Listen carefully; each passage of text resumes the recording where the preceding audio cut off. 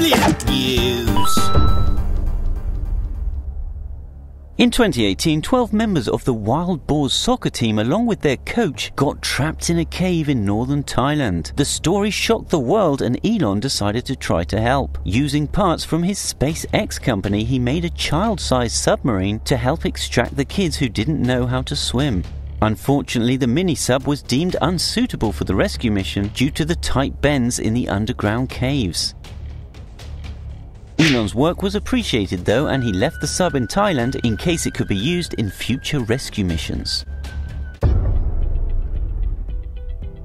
Ad Astra was a school that Elon Musk developed after becoming unsatisfied by how normal schools teach. In 2014, Musk started the experimental school on the SpaceX campus, and there it ran for six years. The students were Musk's own children and the children of other SpaceX employees. The school had no standard classes and preferred to teach kids how to work together, be creative, and solve problems based on technique called first principles reasoning, which is basically just taking a problem right back to its roots to then solve it from there. Musk used this reasoning to create cheaper car batteries rather than accepting that batteries were expensive and always would be. He broke a battery down to its key components and made a cheaper way of assembling them. Starting out as an April Fool's joke on Twitter, Elon tweeted that Tesla was going bankrupt and that Elon was found passed out against a Tesla Model 3 surrounded by Teslaquila bottles, the tracks of dried tears still visible on his cheeks. In October of that same year, Tesla submitted a trademark application for Teslaquila, describing the product as a distilled agave liquor. Now in 2021, Tesla Tequila is a product on the Tesla website. At the time of this video, it is currently out out of stock, but if you're lucky for just $250, you could get your hands on a lightning bolt shaped glass bottle of tequila añejo. I still think they should have called it Tesquila. What about you? Let us know what you think in the comments. So you've probably heard about Elon's different spaceships, but you may not know about the extent of his plans for Mars. Every two years, planet Earth and Mars are suitably aligned to send rockets from one to the other, so therefore any delay will mean a two year wait for the next opportunity. By 2022, Elon plans for at least two unmanned cargo ships to make their way to Mars. In 2023, he plans to send Japanese billionaire Yukazu Maezawa and six to eight others on a trip around the moon. In 2024, he plans to send two cargo ships yeah. and two cruise ships. These cruise ships will be tasked with setting up a propellant production plant. By using Martian water in the form of ice and carbon dioxide, they'll create methane and liquid oxygen to fuel the ship's return trip. The crew would have to collect a ton of ice a day to fuel the plant. The crew would also have to set up solar powered hydroponics to grow their own food. Elon also has plans to terraform Mars by detonating nuclear missiles at its poles to make tiny artificial suns to warm the planet enough to induce an atmosphere similar to Earth's. However, a Russian news agency article concluded that Elon would need more than 10,000 high payload nuclear missiles to achieve this, to which Elon replied, no problem.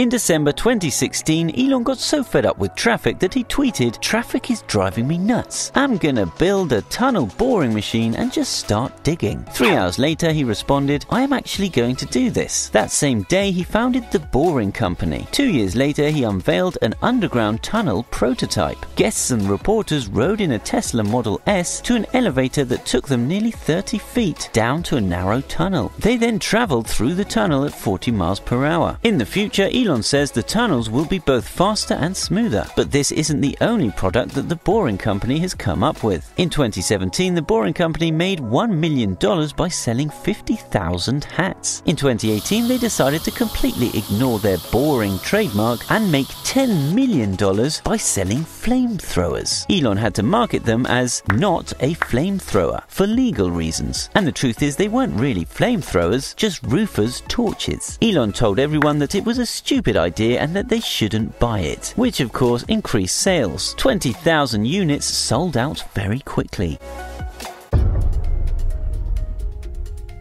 Elon co founded Neuralink in 2016. The idea behind the project is to be able to connect the human brain to AI technology. This would enable someone with severe spinal injuries to interact with computers using their brains. Once the technology is fully developed, people will be able to interact with robotic arms or legs, phones or computers, basically anything that uses electronics to function. It would also pave the way for a future of bionic upgrades. Brains linked to the internet enabling us to know things with without having to learn them first. Scary stuff, right? Well, Elon thinks so.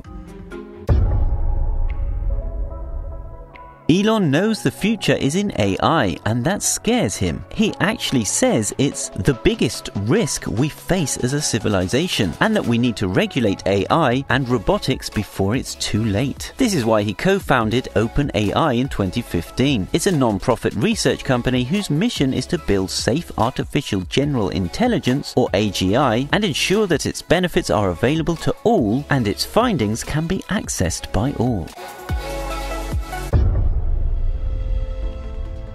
Elon acquired Solar City in 2016, and its mission is to provide solar power to all. In order to power the US, you would need an area the size of the Mojave Desert covered in solar panels. The company have attacked this problem by creating roof tiles that are actually solar panels. Because everyone needs a roof, right? The idea is that instead of installing traditional tiles, you install these solar tiles, gaining not only a roof but also a power plant. The tiles are guaranteed for your house's life lifetime and are available in smooth, textured slate and Tuscan styles. You can also get something called the Power Wall to store excess energy you've generated.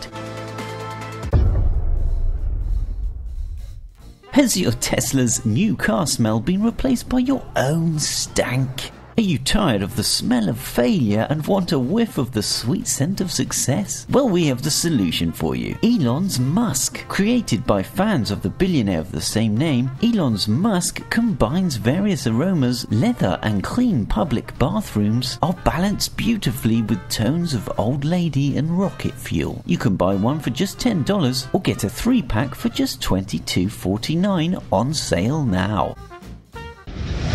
Did Elon's invention surprise you?